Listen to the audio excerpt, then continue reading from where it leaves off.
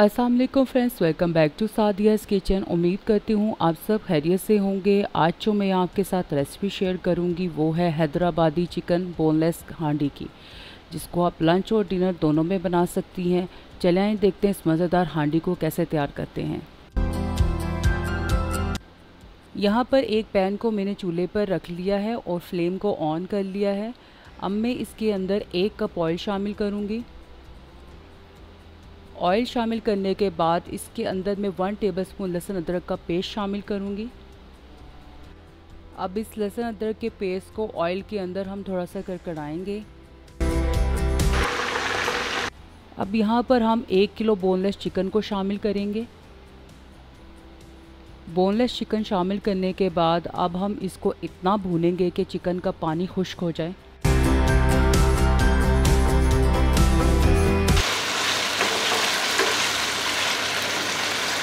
यहाँ पर चिकन का पानी खुश्क हो चुका है। अब मैं इसके अंदर टमाटर का पेस्ट शामिल करूँगी। यहाँ पे मैंने चार बड़े अदर टमाटर लिए थे और उनका पेस्ट बना लिया था।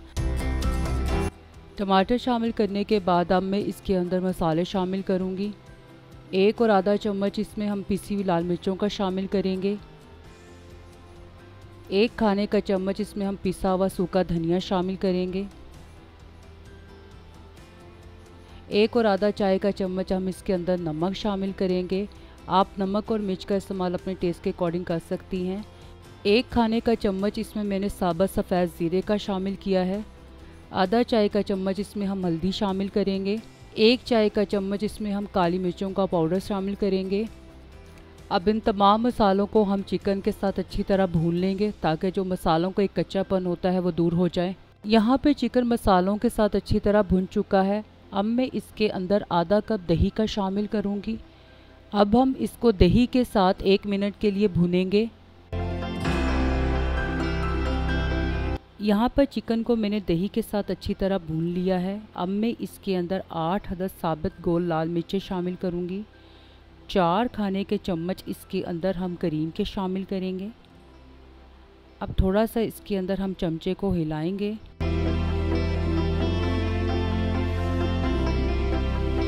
एक चाय का चम्मच इसमें हम नींबू का रस शामिल करेंगे। नींबू का रस शामिल करने के बाद अब मैं इसके अंदर एक खाने का चम्मच बारीक कटा हुआ हरा धनिया शामिल करूँगी। एक चाय का चम्मच इसके अंदर हम गरम मसाले का शामिल करेंगे।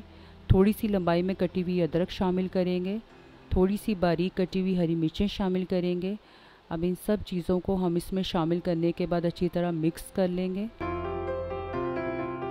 अब यहाँ पर इसको हम हल्की आँच पे एक मिनट के लिए कवर करके दम पर रख देंगे।